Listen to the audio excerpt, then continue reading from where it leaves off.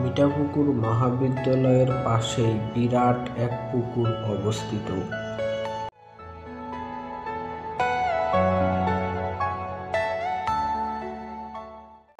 সম্রাট আওরঙ্গজেবের আদেশে মীর জুমেলা কুচবিহার ও আসাম অভিযানকালে এ অঞ্চলে এসে পৌঁছান। তার বিশাল বাহিনীর সুপেয় পানির চাহিদা পূরণে তিনি একটি পুকুর খননের আদেশ দেন।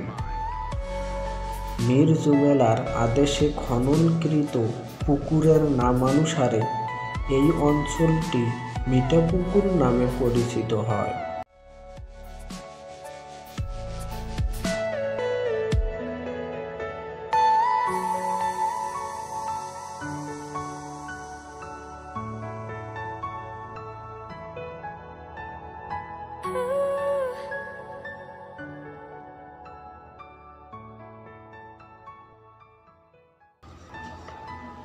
মতান্তরে, শাহ ইসমাইল গাজীর আদেশে পুনরায় পুকুরটি খনন করা হয়। বর্তমানে এ পুকুরটিতে মাছ চাষ করা হয়।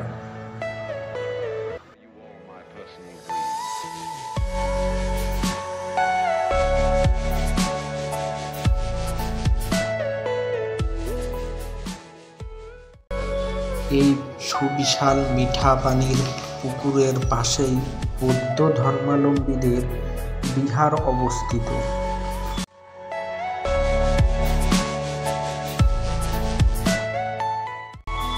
এই বিহারটি উত্তরবঙ্গের কেন্দ্রীয় বৌদ্ধ বিহার, যার নাম বেনুবন বৌদ্ধ বিহার।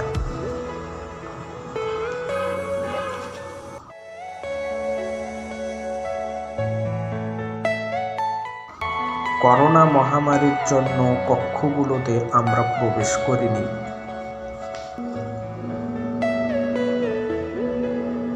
আজকের প্রতিবেদন এ পর্যন্তই। সকলেই ভালো থাকবেন, সুস্থ থাকবেন।